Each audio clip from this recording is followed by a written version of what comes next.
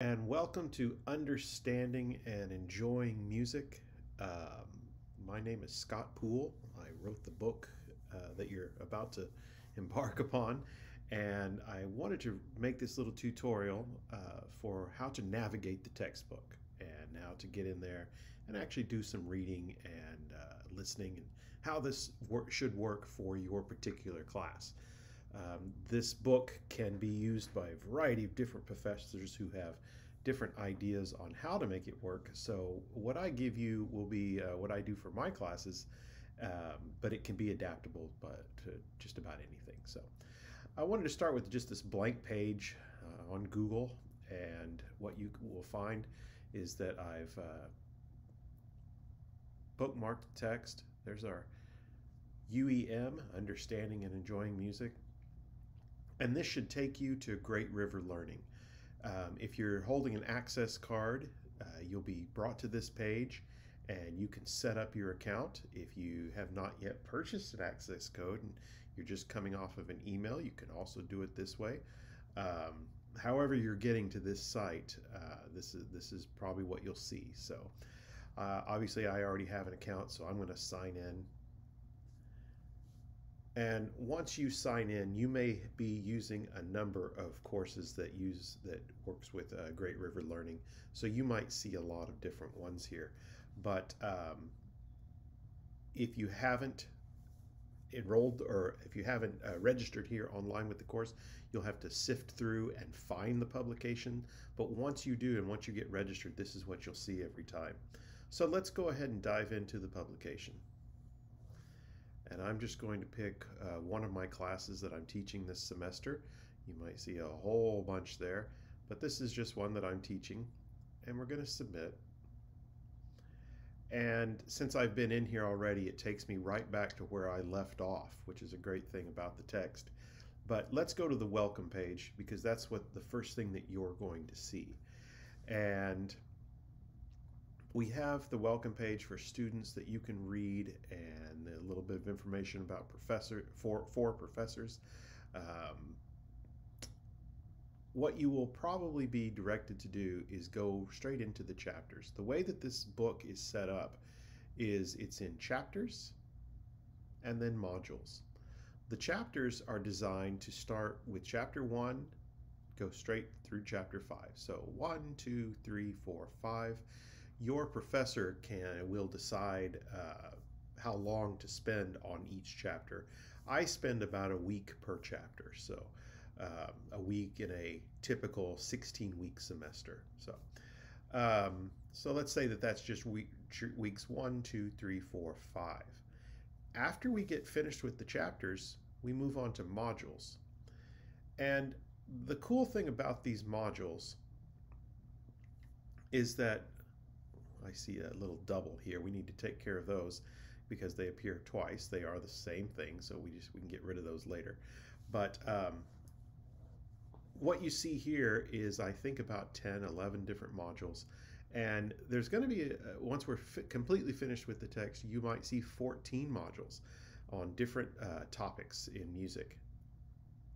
It would not be expected for any professor to cover every module and every chapter in a semester. There's way too much information. But I set up the text this way so that you can pick and choose which modules you prefer to do. Um, and if your professor says we're going to do these certain modules, then you'll do those. Uh, the professor may have you uh, pick your own modules. You never know. Um, but let's say that uh, the professor says after the five chapters, we're going to do the chamber music module, the module on jazz and popular styles, and then maybe we jump down here to opera and maybe the symphony and orchestral genres. And then that may be an entire semester for you. So that's how that works. Chapters here and modules that you work through. But let's go back to the chapters because that's where everybody's going to start.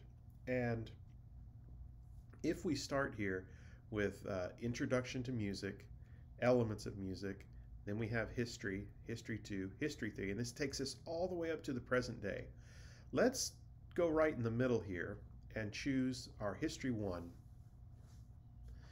What you'll find in every chapter is you'll have our learning objectives. This is what we're going to go over. And then we start right in with the text. The text is designed to uh, read through just like a book, and we would read about understanding historical perspective uh, in our first chapter on history. And what you'll find throughout the text are these questions that are questions of reflection. We call them poll questions. We're kind of polling uh, what you as students think. There really aren't any uh, right or wrong answers. Uh, they we were just looking for um, thoughtful answers for you to think about what you've been reading. And in this first one, you know, imagine yourself as an alien being who is spying on the lives of humans in your city. You know, what how do we act as humans? What are some unique observations that we can make about the current time period? Uh, how do we behave uh, as people in our current uh, current existence, our current society? You know, what are the values of our society? How do we exist from day to day? Um, sometimes we take so many things for granted that we go through, uh, we don't really pause to think about how we actually behave. So that's just something for you to write in. And what you would write in, let's just say, um, what are some unique observations you can make about the current time period? We're going to say something like, uh, the beings of Earth seem to be preoccupied uh, let's say pre how you spell preoccupied. Preoccupied with these little devices in their hands. And of course i'm talking about the use of cell phones. Um, we would do this and we can save. If we want to come back maybe we haven't completed our thought we can save it. But then when we're ready to submit to our professors we hit submit and I would hit the submit button.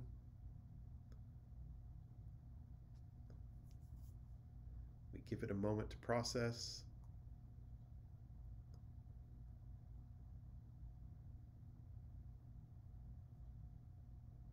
And form has been submitted successfully. So we say, okay. So thank you for re your responses. All right. So we go on and we keep on reading about history. And we read, read, read, read, read. And we would read some more, again, just like a regular textbook. Um, we'll read some more here. And we have another poll question talking about inventions of the present day. And we would fill that out just like the other one. Um, then we get to the bottom of the page and we go to the next page. And we get to learn about music in antiquity we would read, read about this. And here's where we find uh, the first listening example in this particular chapter. Um, all of these links, we click on them, and what happens is we get a, pause that for a moment, but we get a new window that opens up with uh, a link to the piece of music called the Hurrian Hymn. Um, I highly suggest that while you are uh, a member of this class that you go ahead and subscribe to uh, YouTube Premium. All of the uh, examples here are through YouTube and unless you just like listening to commercials and such, uh, you pay the fee for the YouTube Premium, at least for the two or three months while you're in the class, it'll save you a lot of time.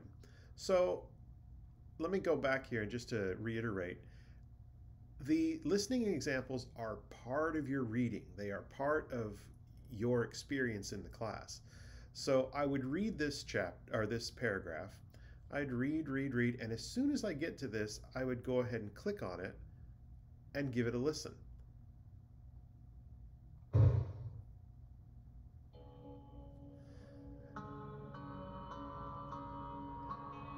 And this is actually just almost like a miniature documentary, uh, four minute documentary on the Hurrian hymn, in that it talks a little bit about it, and we would listen all the way through to the end.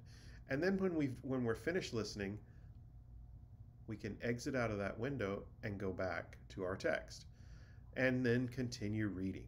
So really, just to, to reiterate here is that the uh, the listening examples are part of the text. They consider it part of the reading. uh, because we're going to come back to these uh, listening examples in just a few minutes here. So we would read some more. We would read about the medieval era. And when we get down here and we see uh, text that is outlined in green here, we click on that and that's going to be one of our glossary terms. These are important terms to know for the class and to uh, maybe write these down in your notes or come back to these. These are the types of uh, terms that are going to end up on exams and such. So we would read, read, read some more. And as we get down here to the bottom, more glossary terms, another opportunity to answer a poll question. We go to the next page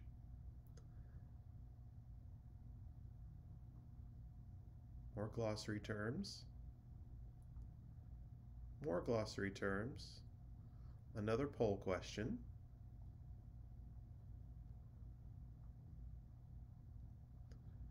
and here's another um, example of, to listen to.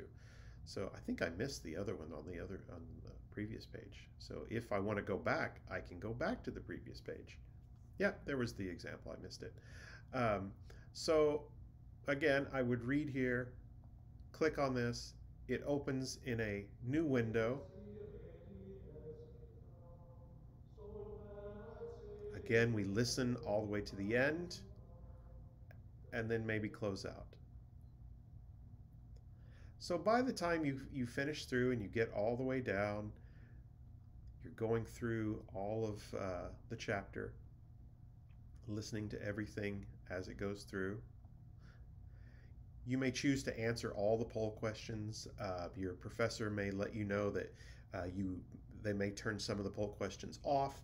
Uh, they may give you lots of points for the poll questions. They may give you just a few points. It's really up to the individual professor.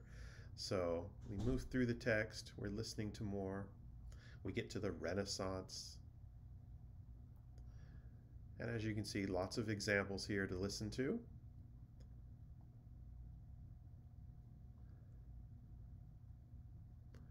We get down through here.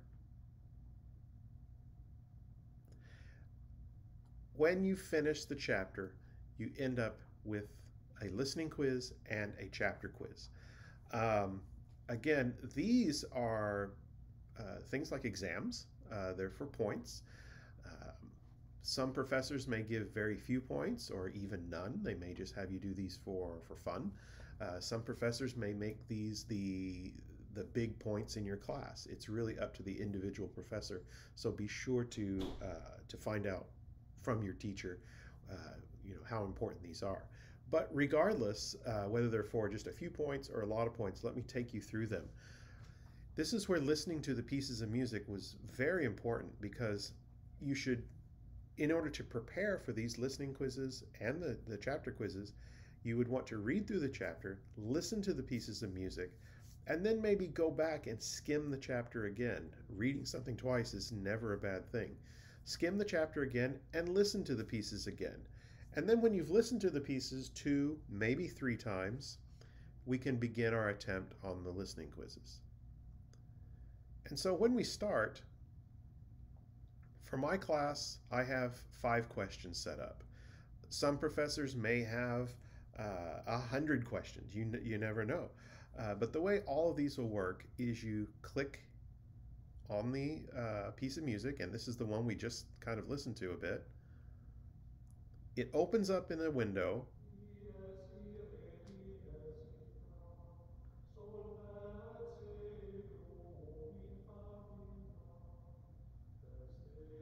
I'm going to pause this for a moment and read the question.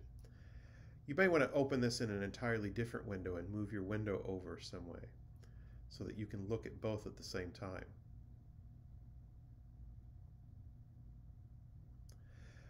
At what approximate point does the texture change, change from monophony to polyphony? And we would have to uh, listen and say, if we listened and said, well, I really don't know, I may have to listen to this whole thing again. Or if you've already listened to it a couple of times, you might say, you know, I know that the answer is never. and so I could save the answer. Once I save the answer, it goes to the next question. Now, depending again on whether your professor has this uh, set up to where you can come back or if you have to finish it all in one seating, uh, that's something to ask your professor. But in my classes, you could go away and leave this. So your, your answer is saved, but it is not submitted. And so once I finish all my questions here, then I would finally hit I am finished and submit for a grade. Or maybe I'm right up against a deadline and uh, the, the uh, exam is due, but I'm only through three questions. I really want to hit I am finished, please submit for grade. Uh, you need to do that so that you can uh, move on to the next thing and that you can get things submitted for the grade. Again, saving your answer doesn't necessarily submit. Uh, so finish your, your questions here. Here's another one. We would click on this one, answer the question, and then submit, save answer, and then submit for grade. So let's pretend that I've submitted and it asks me, yes, I will submit. Again, processing, and then it tells me how I did. I didn't do any of these, but I did get this one right. Okay, so let's go back to the book now. So we just finished our listening quiz. Chapter quizzes are much the same. We can begin our attempt. Here we have a few more questions. We have 10 questions because there's no listening involved in these. And I simply answer the questions. Which would not be a topic for a troubadour song? Hmm. I'm going to guess knightly battles. And I can save my answer. And it goes strict right on to the next question. One of popular subjects for the motet was, I could say, the Virgin Mary. And let's say I'll save that answer and then I'm going to be finished. I would go ahead and answer the rest of these to get my full credit, but let's submit for now and see what happens. So here it tells me that I missed question number one, but I got question number two correct. So that's how these work. Let's go back home, back to our publication.